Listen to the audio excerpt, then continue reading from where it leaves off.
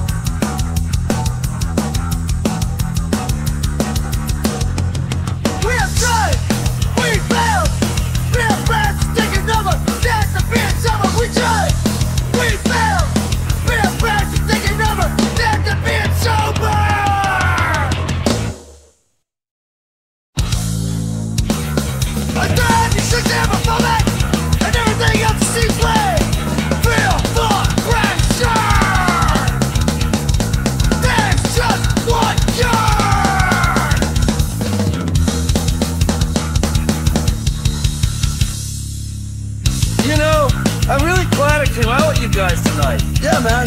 Your friendship really means a lot to me. I can't even see, man.